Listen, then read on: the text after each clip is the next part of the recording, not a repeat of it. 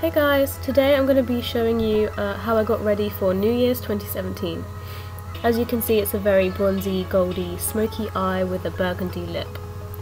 So first I'm just priming my eyes with the NYX eyeshadow primer in white. Now I'm just taking my Morphe 35C palette and I'm using the white to set that down um, and make the darker colours we'll be using later much easier to blend. So now I'm blending a warm brown through the crease. This warmth will tie the darker blacks and browns that we'll be putting on later in with the look better and um, yeah I'm just blending that and intensifying that towards the crease and uh, fading it out towards my brow bone. I'm building up the intensity quite a bit uh, right at the crease because that will then prepare for the darker colours that we'll be putting on the eyelids.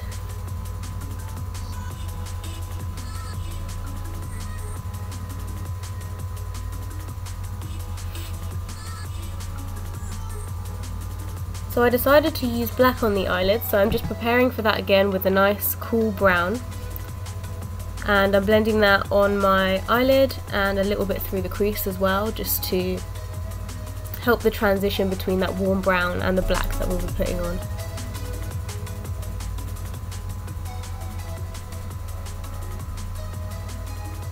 Now I'm just adding the black right down on my eyelid and I'm blending that out in a sort of triangular shape towards the outer V of my eye. I'm taking it all over my eyelid, not being shy, I'm putting it all over um, and just kind of winging out the shadow. And I try to really blend it out quite seamlessly towards that warm brown that we put on underneath.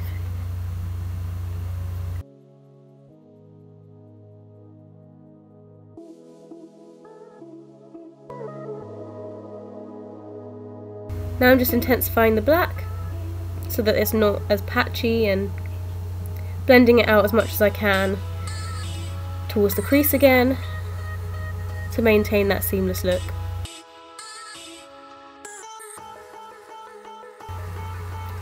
And I don't know if you caught that, but I put a bit of white again on my brow bone because I, I, think it helps to um, blend out the eyeshadow through my crease um, so that it doesn't get too dark up towards the brow bone.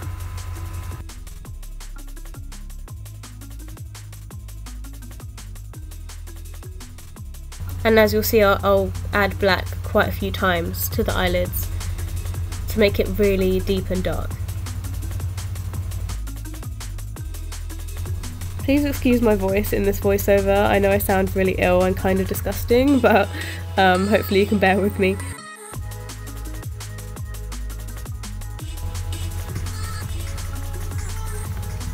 So now that our eyeshadow is all deep and dark and blended out to perfection, we're going to be adding the glitter.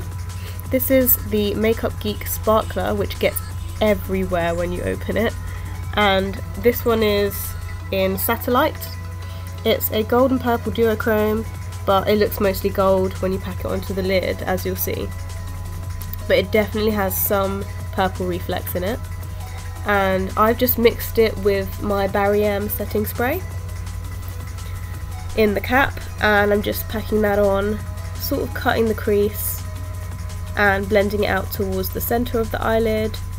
Um, I was planning on just cutting the first third of the eye, the crease there, but when I put this on I just fell in love with it and I just wanted to put more and more on so I've actually put it on most of my eyelid and I'm just fading out towards the outer corner which I'm going to keep a nice dark black colour.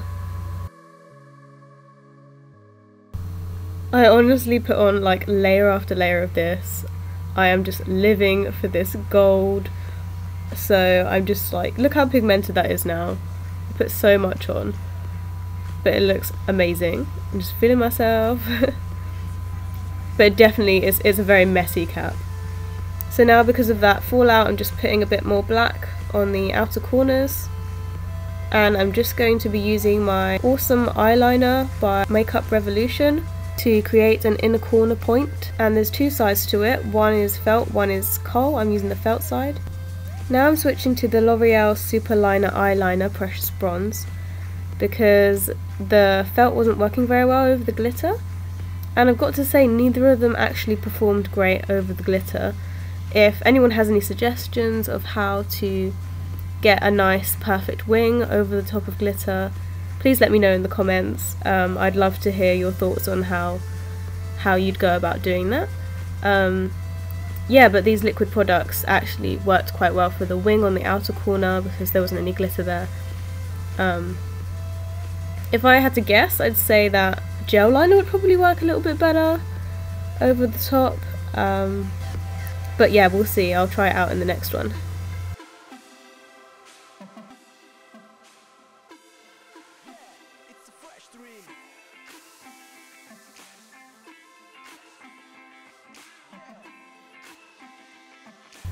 So next I'm just going to be using the kohl side of my awesome eyeliner by Makeup Revolution to line my tight line.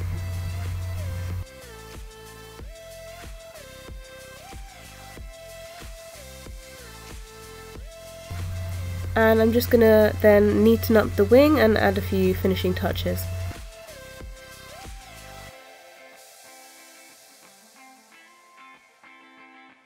Before I move on to my face, I'm just going to be cleaning up that glitter off of my hands and off of my face because if they get into my base then there's no getting rid of that. Now I'm just taking my Rimmel Match Perfection foundation, I use the shade Ivory and I'm just putting that all over my face.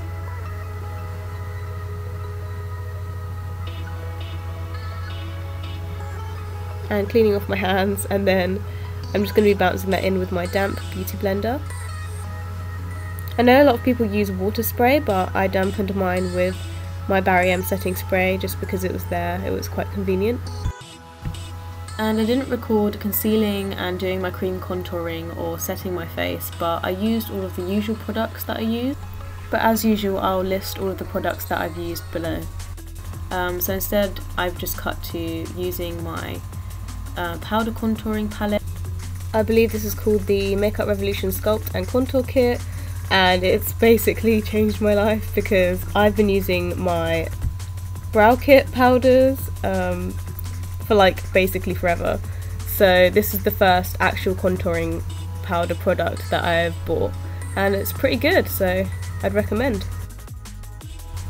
So now I'm just taking the bronzer shade and I'm warming up my contour bringing it up towards my cheekbones and a little bit on my forehead.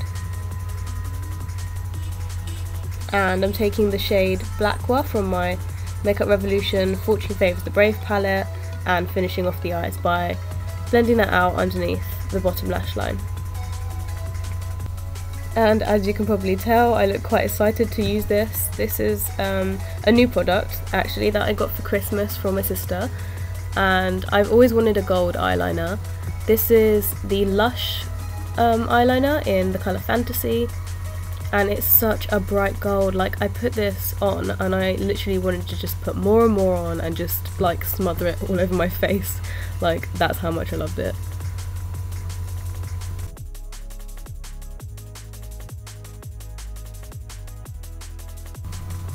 And as you can see I am like feeling this look and I just started to get a bit excited for the new year. Now I'm just going to be filling in my brows like I usually do with my um, Brow Expert Kit by Makeup Revolution and I'm just using the two pomades. One is like a light brown colour and the other is a dark brown colour. Um, and I've shown this in most of my tutorials so you probably know the drill by now. Unless you're a newcomer in which case welcome and please check out some of my other tutorials.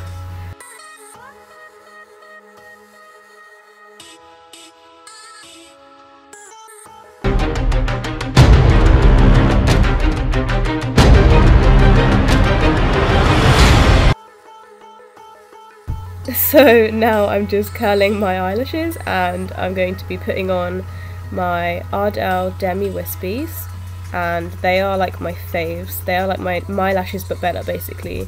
They're sort of tapered at the ends and they just look so natural and thick and luscious. And I'm just putting my Rimmel Super Curler Mascara on top, as usual.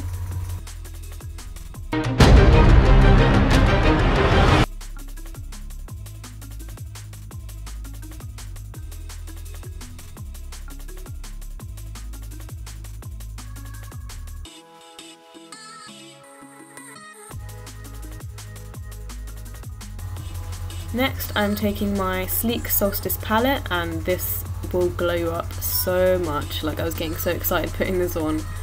Um, I fell in love with it. it. This was the first highlighting product that I'd ever bought for myself and it was just amazing. Like I don't think I could have done better for a first highlighting product. Just look at that glow. It is intense.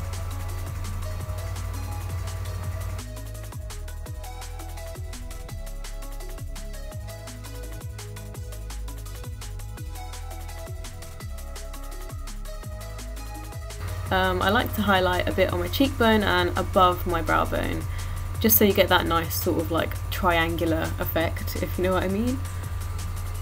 Just the light hitting just the right spots and then putting that on my brow bone as well. I did my nose.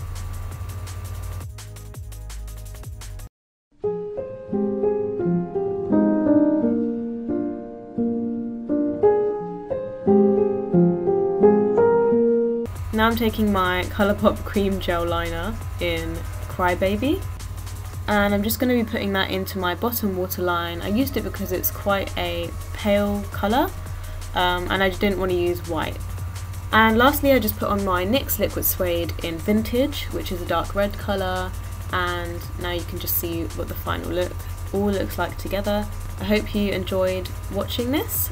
Give a thumbs up if you did and even subscribe if you'd like to.